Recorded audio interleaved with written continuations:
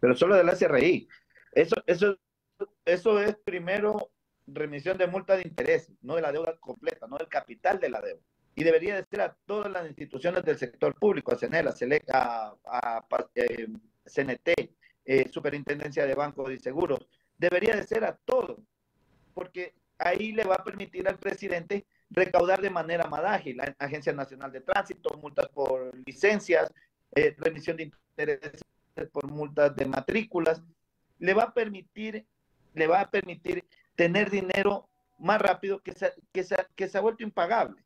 Que primero se ha vuelto impagable porque los ecuatorianos hoy no tienen dinero, pero si hay un alivio, sí, eso es una parte y, y es una de las observaciones que yo voy a presentar el día de hoy al proyecto de ley. Por